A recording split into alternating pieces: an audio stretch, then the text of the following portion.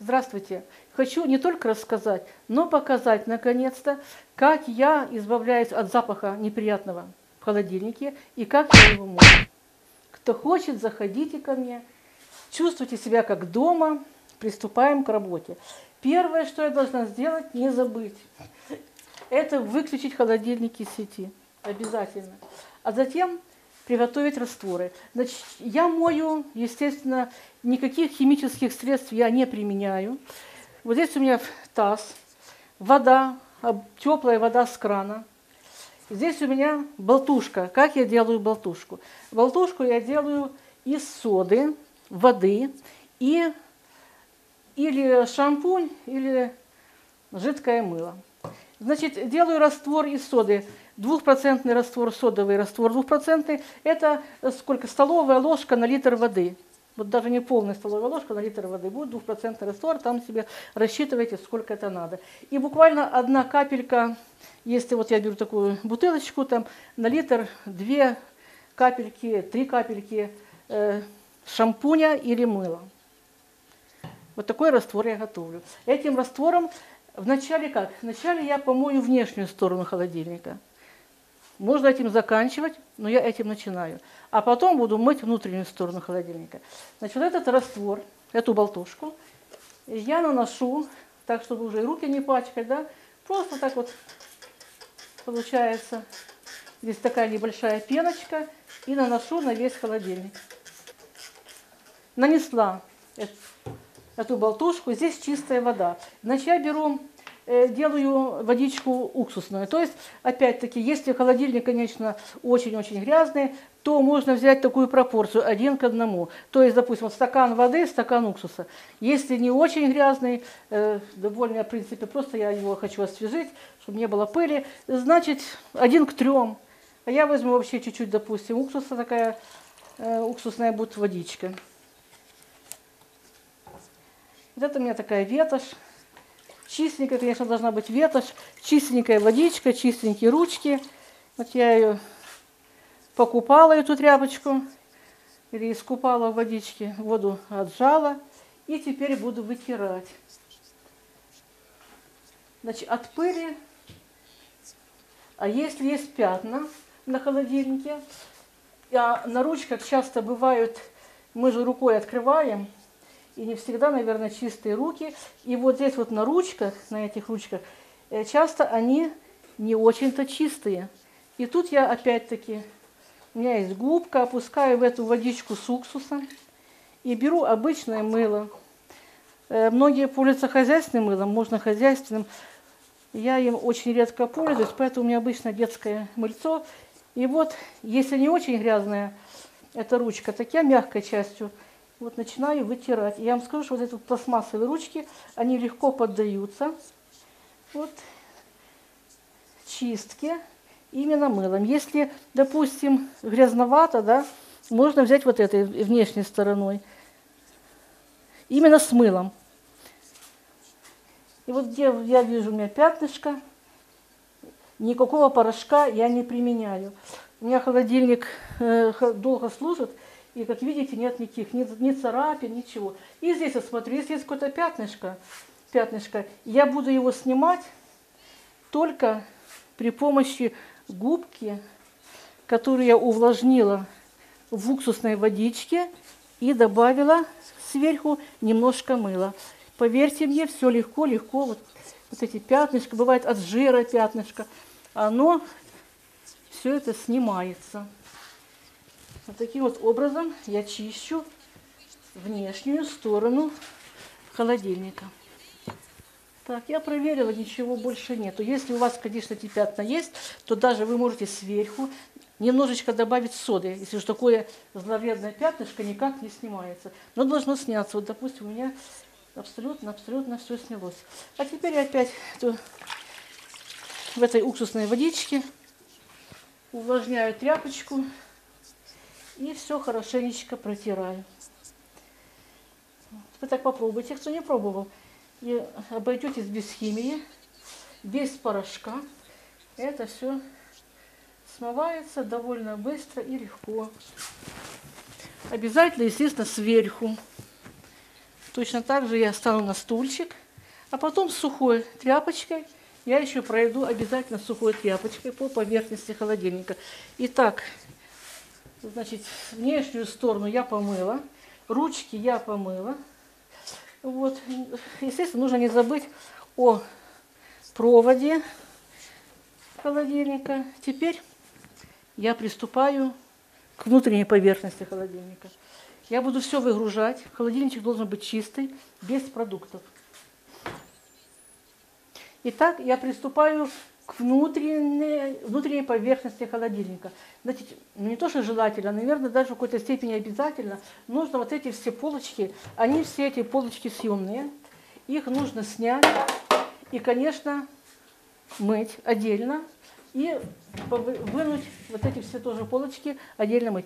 Удобнее всего, вот на мой взгляд, вот эти все вещи, лотки, мыть э, в ванной комнате. И места больше, и воды, ну, легче там. Если такой возможности нет, то ничего страшного, можно и так потихонечку все это вымыть. Значит, чем я обрабатываю внутреннюю поверхность холодильника, и чем я обрабатываю э, э вот эти лоточки, эти полочки. И вначале можно просто помыть. Э, помыть можно обычно мыльной водички. Или мыло, или шампунь, обычная водичка мыльная, и все это помыть. А потом я обязательно делаю двухпроцентный раствор соды. То есть столовая ложка на литр э, горячей воды. Но вот сода растворилась, а потом она должна водичка быть теплая, не горячая. Туда добавляю, я уже говорила, что я добавляю шампунь или жидкое мыло. И э, первое действие – это я обрабатываю всю внутреннюю поверхность холодильника, вот эти дверцы, полочки, обрабатываю содовым раствором. Это не только для того, чтобы было чисто, это еще для того, чтобы убить микробы, которые здесь накопились. Как мы все знаем, сода и от грибковых и от грибка, и от плесени, а плесень тоже грибок, и от других там бактерий. Это средства хорошие, доступные и дешевые. И вот я обрабатываю всю-всю поверхность таким же образом. Вот эти лотки хорошо можно обработать и оставить на минут 10-15. Можно даже холодильник прикрыть. Можно обработать внутреннюю поверхность холодильника – Э, трехпроцентной перекисью водорода. На губку обработали, или даже через такое приспособление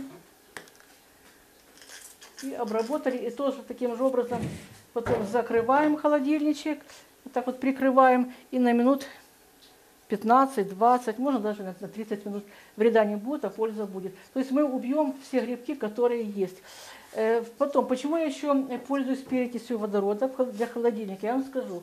Здесь в холодильнике, все знаете, есть такая маленькая дырочка и такая пробочка для стока воды. И очень часто в холодильнике появляется плесень. Плесень, как вы знаете, это враг,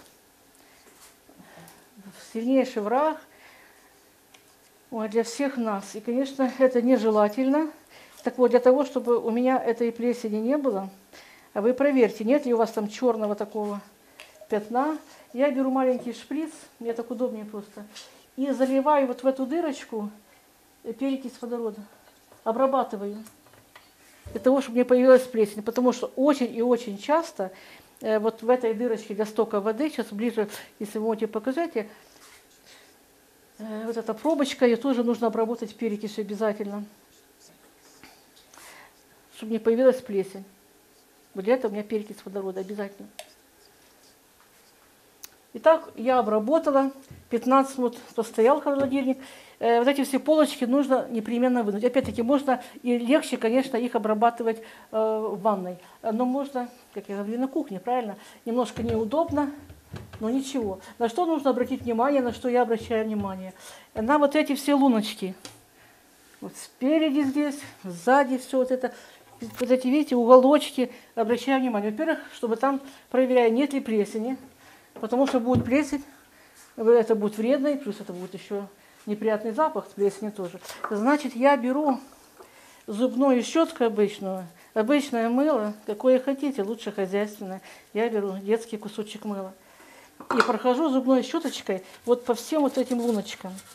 Если они грязные, то их и так видно, да? Но на всякий случай все равно нужно пройти. Значит, мы обработали, вот я обработал вначале содовым раствором, а теперь прохожу, это я вижу, вы не видите, да? Вот все вот эти, эти луночки хорошо пройти, он уже грязь я достала.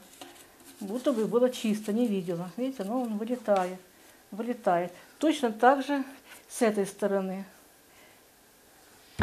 Мне удобнее при помощи зубной щеточки вот эти все уголочки обойти обязательно. Так, это стекло, так чтобы не разбилось, или пластик. Вот. Отлично зубной щеточкой. Можно еще при помощи губки. Вот там уже так сверху, где вот этот ободочек, хорошенечко, хорошенечко пройтись, потому что здесь тоже иной раз э, такие темные пятна, да. Когда я это пройдусь и буду уверена, что у меня все чистенько, вот внутри, если у вас видите какое-то пятнышко, можно тоже губка с обычным мылом. Вот я пройдусь по всей поверхности.